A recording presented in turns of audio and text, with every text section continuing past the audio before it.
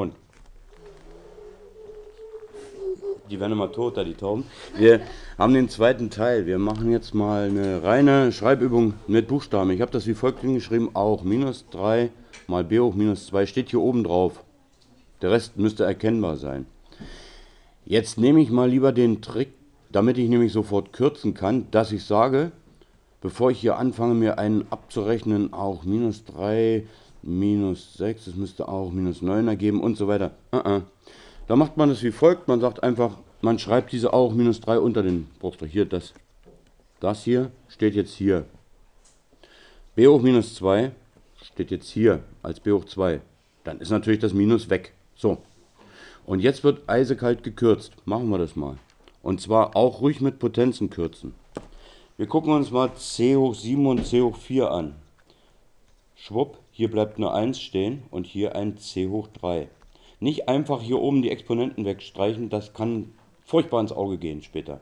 So, jetzt gucken wir uns auch 4 und was haben wir hier? Auch 6 und auch 3. Da ist ja logisch, dass wir uns das schnappen. Auch 4 und auch 3 geht leichter. Warum? Weil ich dann keinen Minus erstmal erwarten muss. Zack. Auch 4 durch auch 4 ist 1. Äh, durch auch 3 ist. Entschuldigung, jetzt habe ich gepennt. A hoch 4 minus 3 ist auch 1. Also, ich teile durch a mal a mal a, habe ich hier eine 1 stehen und hier habe ich noch ein a stehen. Nicht bloß oben den Exponenten wegstreichen, das ist schweinegefährlich. Wir gucken uns schnell mal die b's an. Da habe ich hier äh, ein b hoch 6 und hier habe ich ein b hoch äh, 9. Das ist ungünstig. Aber hier geht es günstiger. Durch b hoch 2 kürzen ist 1 und b hoch 4.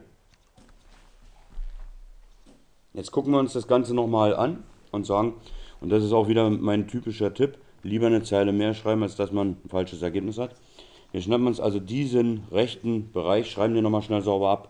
Hier steht a mal b hoch 4 mal c hoch 3. Oh, die 3 ist nicht schön. c hoch 3.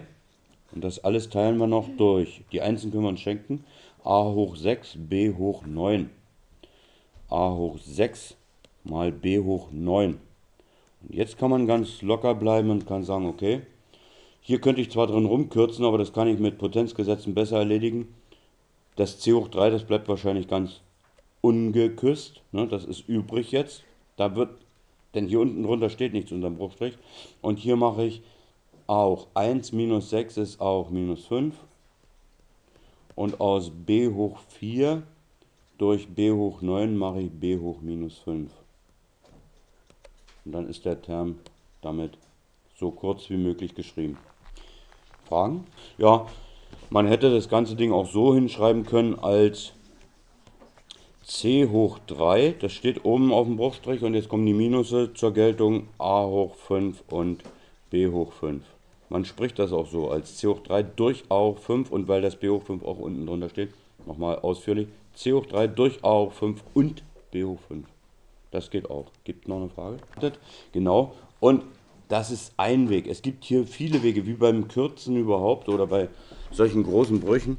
Man kann auch diese Aufgabe hier oben wie folgt rechnen, dass man sagt, ich fasse erstmal oben alles zusammen. Machen wir das mal. a hoch minus 3 mal a hoch 4 ist a hoch minus ist a hoch 1. Dann werden die weg hier. Ja. Ich mache mal gelb durchgestrichen. Dann ist das erledigt.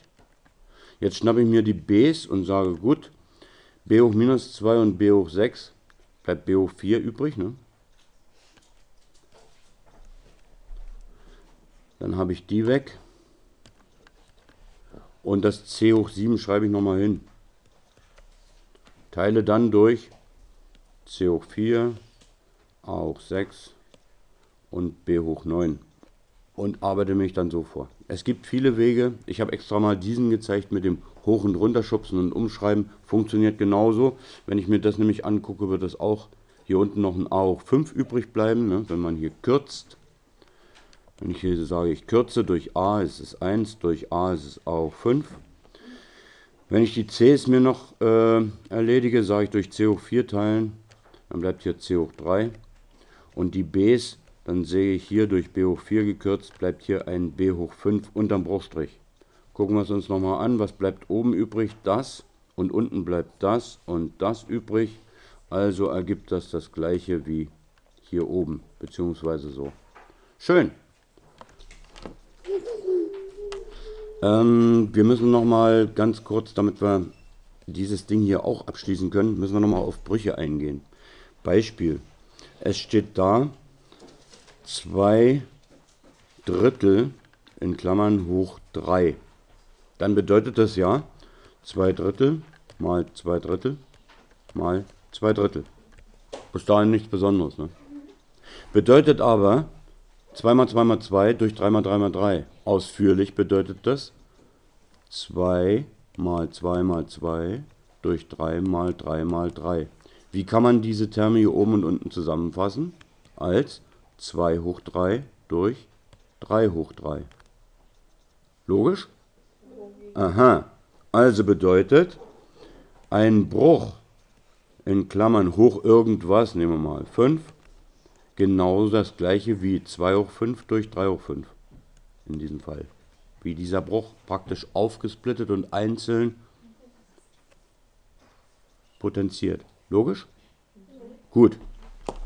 Wenn das so ist, dann können wir auch folgendes ganz leicht ausrechnen. Dann können wir nämlich später äh, noch ein bisschen schönere Rechnungen machen. Ähm, wenn das so sein sollte, können wir auch sagen, äh,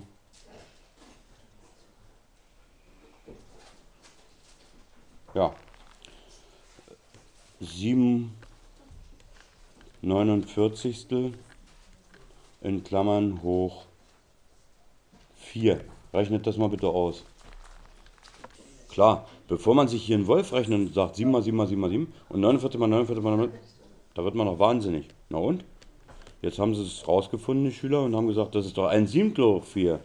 Und einmal 1 mal 1, das ist klar. 1 hoch 4 bleibt 1. Und hier unten drunter steht 7 hoch 4. Und 7 hoch 4 wollte ich noch ausgerechnet haben. 49 mal 49, was kam raus? 49 mal 49. 7 hoch 4. Ja, ja, 50 mal 50 ist 2500, also ist das Ergebnis richtig. Das ist ein 2400 Eintel. Gut. Ja. Setzen wir noch einen drauf. Ähm, 625 äh, 25. hoch 1,5. Jetzt bin ich mal gespannt. Ja, ja, bis dahin sind wir klar gekommen. Ne? Das ist gekürzt. Hier ergibt es eine 25 und hier gibt es eine 1. Das ist 25 hoch 1,5. Ja, ja, das weiß ich auch. Aber wie kann ich das wieder aufdrieseln? Jetzt macht euch mal Gedanken. Überlegt mal, ob man die 25 auch anders darstellen kann, mit allen Erkenntnissen, die wir hier gewonnen haben. Mit allen Ideen. Ja, hier kamen sehr schöne Ideen. Wenn ich jetzt die Potenzgesetze anwende, dann lerne ich nebenbei das Wurzelziehen. Das ist 5 hoch 1,5 mal 5 hoch 1,5. Ne, resultieren 5 mal 5 ist 25.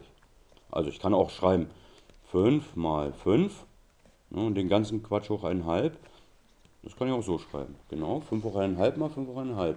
Und wie geht es jetzt weiter? Jetzt das erste Potenzgesetz. Wie bitte? Plus. Also 5 hoch 1, ganz genau. Mit anderen Worten, das ist 5. Ähm, machen wir noch eine Übung. Ähm, 36 hoch einhalb. Macht mal das gleiche wie eben. Ist klar, das ist 6 hoch einhalb mal 6 hoch einhalb und 1 mal äh, plus einhalb ist 1, also das muss 6 sein. Das heißt mit anderen Worten, nee, nee, nee, nee, nee, nee, nee, äh, jetzt nicht. Das heißt mit anderen Worten, was bedeutet hoch einhalb? Ganz genau. Das ist nichts weiter, hoch einhalb, ich könnte es auch so schreiben. Das ist die Wurzel aus 36. Und zwar die zweite. Wir kennen eigentlich nur die zweite Wurzel aus 36. Demzufolge müsste 125 hoch ein Drittel nichts weiter sein als die dritte Wurzel aus 125. Aber das können wir mit Bordmitteln erledigen. Wenn wir das in Primfaktoren aufteilen, ist das 5 mal 5 mal 5 und jedes Mal hoch ein Drittel, hoch ein Drittel, hoch ein Drittel. Und demzufolge ist es Fünf, ganz genau. Und damit haben wir das Thema durch. Ein freundliches. Schließt dieses Video auch ab.